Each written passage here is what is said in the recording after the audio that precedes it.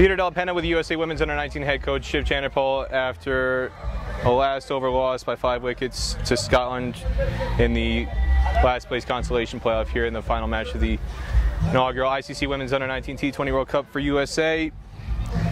What are your overall thoughts on how today unfolded? Oh, I thought um, we started well with the bat.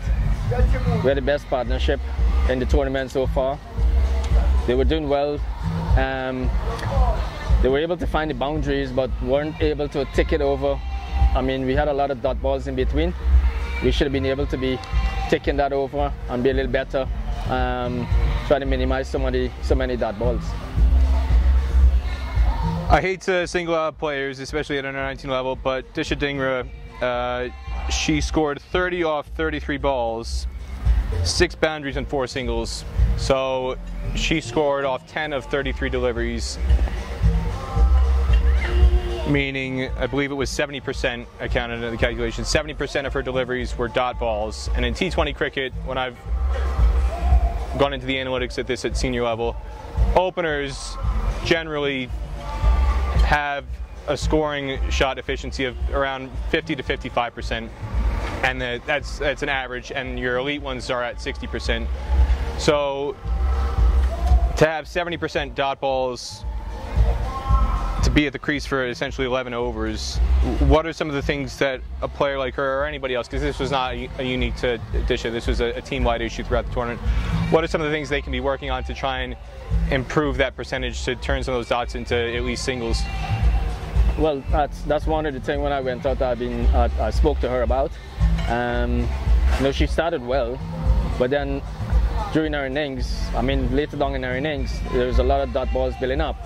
I mean, last year was the one who started a bit slow up front, but was able to maintain and, and increase her strike rate. Um, this just slowed down after she got that start and I, I went in and I told her we needed to pick it up. Um, um, and you know, she, she tried, but then she got out there. But I think it was a bit low in energy. I could see that happen today. Uh, most of us were a bit low in energy.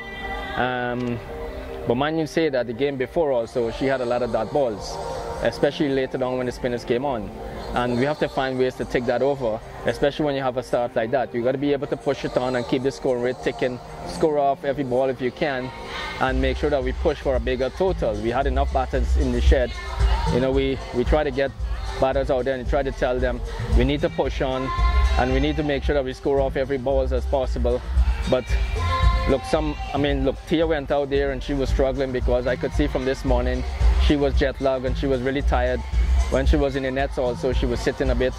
Um, I think today's the third day the jet lag really hit her today and um, she was struggling big time. But the rest of people have been here for a while now, so they should not have, I know, had too much of problems being out there with these conditions, you know. I mean, I think a lot of people would hear that and wonder if she was that jet lagged, why was she playing today? Well, we need to, we need to, um, put her in there, you know, we need to, because of what happened up front. And then her batting and feeling plays a, um, a major part also in the team. The, the, catch she took, I mean, she, she, put on one and two, but she took a, a, catch there which was, which we know that she can do in, in those areas. Um, but look, she came back out, she went in the nets and she bat. But you could still see, you could still see a little bit of jet lag in her system. And then we had we had one and two player who was not well yesterday too. So we had a player who, who we, you know, could get the job done for us. In terms of, uh, again, not just the dot balls, but I would say, especially later in the innings, the last six, seven overs, I felt like Scotland saved a lot of runs in the field, not just uh, fielding on the boundary, crisp, clean fielding, balls that were kept to one that USA were misfielding over the rope for four. But just uh, the running between the wickets felt very lethargic. You said the team was low energy. The running between the wickets at times uh, looked a bit lethargic, looked a bit like there were a lot of twos that were missed that we didn't really see until that final over where they put the pressure on and it forced a missed run out and then an overthrow was taken. But prior to that, there wasn't really much of that seen and I'm just curious how much of that you feel was a product of the players being reluctant to get run out based on what had happened early in the tournament? Well, I, I mentioned to them earlier, this is not Australia we're playing against. And this, these um, Scotland fielders are not as good as Australia. So we missed a lot of singles in the circles also. And I, I always say to them, push for the first one as hard as you can and always be on the lookout just in case a bubble on the outfield, you can get the second one. And these girls in Scotland, not all the players have good arms and not all of them are quick enough. Um, as player, you have to be able to identify these things. I'm on the outside, I'm, I'm seeing these things, but I can't be shouting at you every minute. You got to be able to, you know, I, try, I can't send message on the field because you're not allowed. You're a certain amount of time to, to, to get certain things done. Um, it's difficult as a coach to, to, to try and get your players, uh, but you know, if you talk about it in a meeting and you talk about it, I mean, when you get out there, you have to be able to, to, to do these things. You can't just jog for a single. You have to look the part and the body language. If you show that part that you want, really want to push for two, you'll get it. Another big difference in the game today, anybody who saw it would know the fielding. That was, in my view, the main difference. And anybody else who I've spoken to before talking with you feels the same way. Eight missed chances by USA. Compare that to Scotland, who was sloppy at times. There was four overthrows early in the innings, and there were a couple um, sloppy missed fields by Scotland, and one or two missed chances. But two crucial match-turning catches. Darcy Carter took a deep mid-wicket, one to get Ritu Singh dismissed, and then the catch she took to dismiss Geetika Kodali. It was a really athletic catch, coming forward, diving forward. That's the kind of catch we haven't seen USA take basically all tournament. And then if those go to ground or go over the boundary, those arguably eight runs that could have made the difference for USA. And by contrast, USA's drops, it wasn't so much the drops on the whole that was alarming. It was that almost every single one of the drops today was put down by arguably USA's best fielders. That was kind of the the head scratching thing that these were not catches that go up in the air and you think they goes to a certain field and you think that's a 50-50 chance. These are all put down by arguably USA's top fielders and I'm curious why do you think they could not hold on to what were not altogether difficult chances? Well, the, the feeling has always been a concern here. Um, and since we came, we've been trying to do a lot of catches, trying to get people to catch balls as much as we can to try and get them to make sure they get accustomed to the to the balls. And in South Africa, coming down a bit quicker. But look, we've done enough catches, and it's just straightforward catches, straightforward catches, and we're not looking at the ball in our hands. And sometimes we go hard hands instead of let pushing the balls into our hands. And you know, it, there are catches that it wasn't like hard catches, but soft catches. Some of them in the ring, some of them are out in the ring, and straight straight to you. You should be able to take those catches, but we weren't able to do that. Um, but this is the area. This is definitely the area we need to work on because it's been causing us matches. It causes a game against um, Bangladesh, against Sri Lanka, um, against um, Sri Lanka also. If our feeling was a little better, we could have probably pull home a few games, and even this game also. So it keep it keep causing us matches. And the thing is, it also when when they drop the catches, you tell them, look, recover as quickly as possible. It's done happening. Recover as quickly as possible and get the ball in. When we drop it, we just down our head and we mope it around, and and they and they run too right? And we, we, we, we're looking around and looking and we just down our head instead of recover as quickly as possible and get your throws in so we can make those runouts. Um, but we're not, and we're allowing them to get twos. In terms of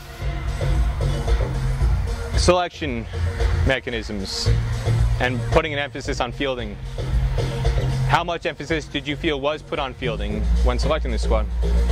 I, I really don't know what's happening because I know the team I had and the role that every individual was playing in the team, which was helping us to win the matches. And that, all of that was changed and makes a difference in, in having a winning team and a team that you're trying to, to sort out. What's the number one thing you're going to take away from this coaching experience, both broadly in your tenure as USA Women's Under 19 coach and this tour specifically? Well, obviously, look, there is always room for improvement. The only thing these girls need people to work with them constantly to improve, and that didn't never really happen here. Um, but as a coach, you know, you always have to look out for your players. You go there, you try your best for them, and encourage them as much as you can. to do better. I know they're hurt. I could have seen when they came off, they were all crying. But we got to stay strong. At the end of the day, as much as you're hurt, remember this next time so you can come better next time and make sure that you win as much as you can next time. So you're not in the same position again, hopefully next time. When that next time comes, next Under 19 World Cup specifically in two years, there's a lot of players who are in this squad, the majority of the players who are in this squad who are eligible to still be in the team uh, at the next opportunity in two years from now. What do you hope that they have taken from this experience that you think will help them put in a better performance and better results two years from now? Well, I mean, look, they've, got, they've gotten some exposure from this, and we try to make sure that everyone get a game, and hopefully they can, you know, learn from this next time with some more experience playing out there, playing in the U.S. I don't know what the um, what uh, um, what conditions or what game are they going to be playing, but hopefully, you know, they can grow from strength to strength, because with this exposure, this should help them to, to improve and coming next time around and, and hopefully a couple more other tournaments is organized between for them to play so they can develop their game. Just finally, for you personally as a coach, how has coaching the U.S. women's players and the U.S. women's under 19 players changed you and personally and changed you in the way that you approach coaching players, whether it's men's or women's players? Well, look, over the years, I mean, from when I started, it was a bit different. You've been told a lot of things and you've been probably told off a lot of times.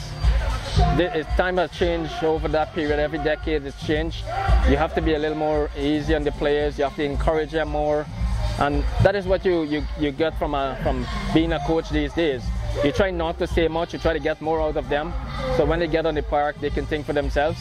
So that is that is something you, you do as coach now, and you try not to say as much as, and you try to get as as much out of the players, see where they are, how they're thinking, and so you know if they are ready when they step on the park. So you don't have to do much when you sit down out there or so, you know. But yet in between, you still have to help because you see things that they will not be able to see. And then as a follow-up to that, what do you hope the players and other people involved in U.S. cricket will remember you most by in terms of how you've impacted these players? Well, I, I don't know how they are gonna remember me by, but I know the players know that you know while I'm here, you know I I'm not just a one-sided person. I look out for everyone. If anyone messed up, I'm gonna also let them know that they are messing up and they need to do, you know, need to be um, up with the, with the others. And I'm also not that person who set double standards. Whatever one, go for one, go for all, you know. So everybody pull together as a team, as a unit, go out there and play as, as one team also. Anything else you want to say about today's match or the, the tour as a whole? Look, today's gone. Um, I've seen how hard they are, how hard the players are, and I know coming next time around, they are going to try and look back at all of these things and find ways to improve and get better come next time around. And what's the number one thing on or off the field that you're going to remember most about this World Cup experience? Look, the team, the players you had around you, they're a bunch of good um, girls. They always have fun, they enjoy themselves, and you hope they can keep doing that as one, one team, you know? Look out for each other and enjoy, enjoy it together.